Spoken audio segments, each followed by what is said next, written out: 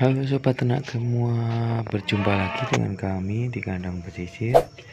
Kali ini kita akan membahas tentang di usia berapa kambing jantan itu bisa dikawinkan atau dijadikan untuk pejantan di kandang. Kambing jantan ini mulai menunjukkan sisi kejantanannya itu sekitar usia tujuh setengah bulanan itu dia sudah mulai melirik-lirik betina untuk ada rasa ketertarikan itu. Oh, tetapi kalau di kami itu semakin umurnya lebih banyak itu semakin baik.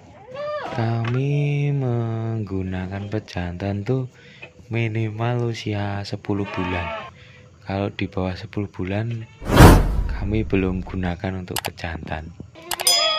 Uh, di usia 10 bulan itu kambing masih perlu dilatih. Karena masih asal-asalan untuk melakukan kawin.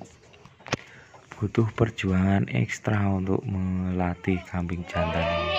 Karena biasanya di usia 10 bulan di awal-awal pejantan ini mulai digunakan sebagai pemacek di kandang itu.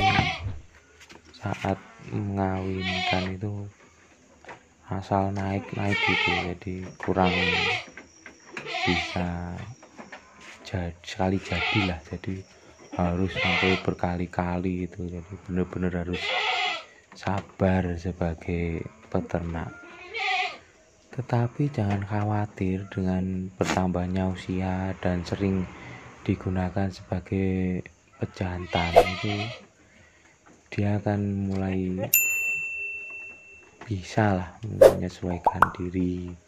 Jadi lama kelamaan itu dia akan bisa menjadi pemacek di kandang yang bagus.